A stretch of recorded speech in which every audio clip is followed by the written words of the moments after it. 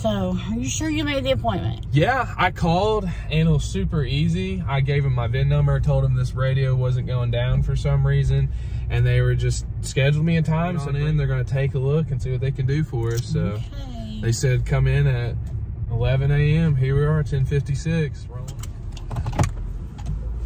Yeah, I scheduled a service appointment for 11 a.m. So I was here to drop my car off. and- Follow me real quick. I'll show you where to take that to. Oh, right on. So I'm gonna pick it up here. No, what you'll do is you'll pull right around this right side of our building here. There'll be a big service letter over here. It says certified service. You won't miss it. You go garage door. You pull right up to it. Our service advisors will check you in and take great care of you. Cool. Good morning, everybody. This is Trevor, one of the service advisors at Jack Burford.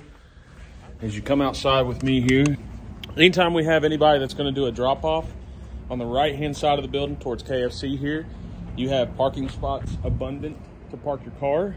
And as we come around under the certified service sign, we do have a drop box. When we get inside of that drop box, you're to have an envelope. For our sake, that envelope's to have a lot of information that goes on there. The more, the better. Anything that helps us out. Best contact phone number, things of that nature. As we come back around, back into the service drive all the way out to the front.